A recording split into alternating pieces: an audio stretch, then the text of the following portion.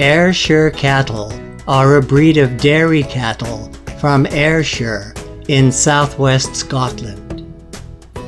During their development, they were first referred to as the Dunlop, then the Cunningham, and finally the Ayrshire.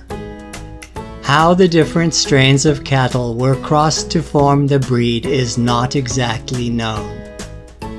There is substantial evidence that several breeds were crossed with native cattle to improve them around 1750 which led to the creation of the foundation animals.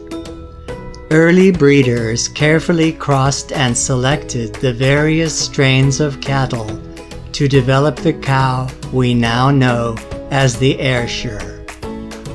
They were well adapted to the land and climate of Ayr, were efficient grazers, and became known for the superior shape and quality of their udders.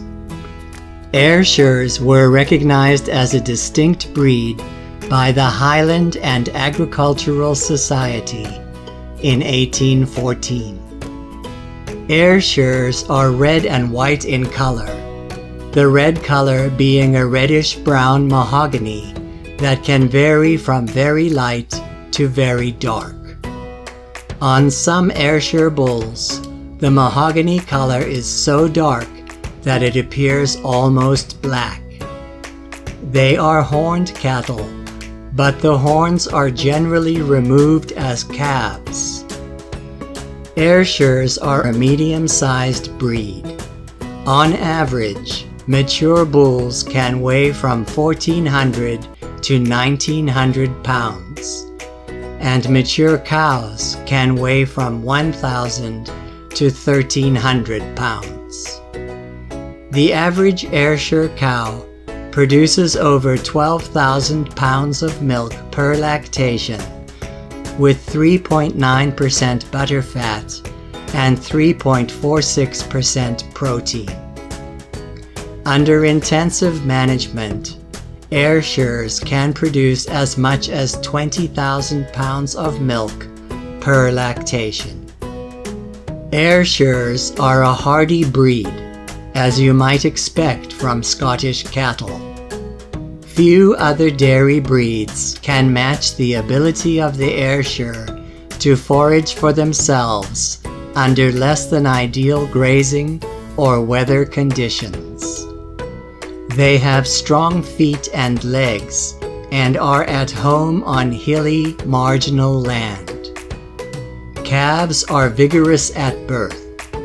They remain strong and are easily raised. The average lifespan of an Ayrshire cow is 10 years. Ayrshire cattle were imported to New England in the United States in 1822, and the American Ayrshire Breed Association was founded in 1875.